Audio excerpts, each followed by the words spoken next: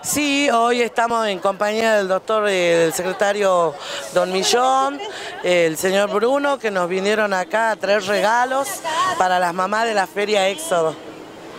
Este, siempre, bueno, un vínculo que se ha fortalecido en el tema de la reubicación de los vendedores ambulantes y, bueno, el diálogo sobre todo. Sí, nosotros siempre hemos mantenido el diálogo con el, el gobierno, que siempre desde un principio nos apoyó para poder realizar nuestra feria. Sobre todo nosotros siempre recalcamos y somos reiterativos en preservar el trabajo para toda esta gente los vendedores, sobre todo los, los, que se reubicaron de lo que era la Santiago del Estero en la época que estaba tomada, en toda esta galería acá en la, en la Éxodo. Eh, bueno, están haciendo un festejo para el Día de las Madres, preparándose para lo que calculan van a ser muy buenas ventas para esta época y bueno, se están haciendo hasta sorteos inclusive para las madres. Bueno, la verdad que se ha este, fortalecido mucho este trabajo no mancomunado entre los vendedores, el municipio con la reubicación.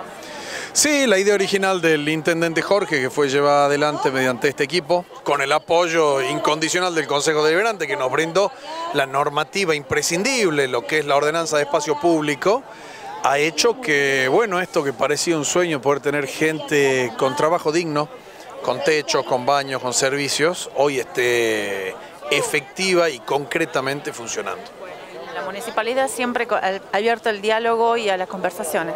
Sí, siempre en el, marco de respeto nosotros estamos abiertos al diálogo y a entender que se puede llegar a mejorar. Todavía falta mucho y somos conscientes de eso.